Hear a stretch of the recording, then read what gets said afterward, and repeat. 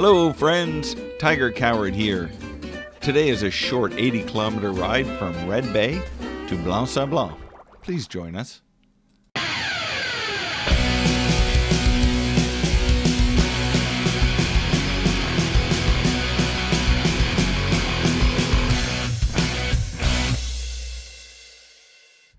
After yesterday's marathon ride, we only had a short ride today, so we did some sightseeing. We started with a breakfast at our B&B and took our time getting ready. We visited the Red Bay Museum around the bay from where we were staying. It was very interesting and well set out. We learned things that we hadn't learned in school and then took a short boat ride over to Saddle Island. When we returned, we met two adventure bikers from Quebec, Serge and Sylvain. Several tour buses arrived while we were speaking to them, so we decided to head out.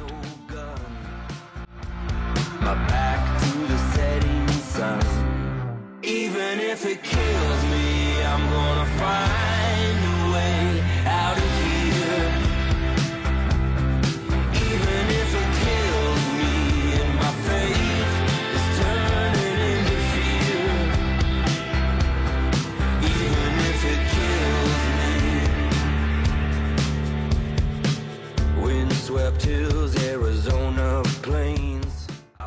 We headed south on Route 510 to Blanc Sablon.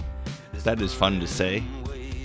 The road was a bit crazy. We went from sea level to 400 meter mountaintops and back down over and over for 90 minutes.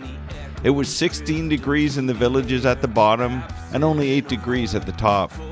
The mountains were rocky tundra with 3 meter snowdrifts and 80 kilometer hour winds, but the views were truly amazing.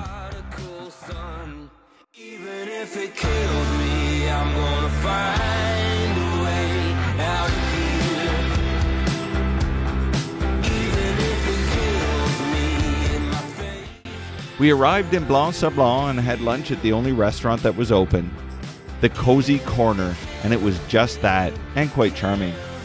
We hung out in the motel room in the afternoon watching a ball game. In the evening, we went to a cool restaurant called The Crossbar and celebrated Spike's birthday.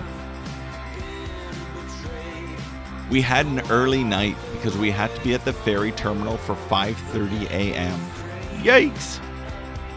Here's what we learned.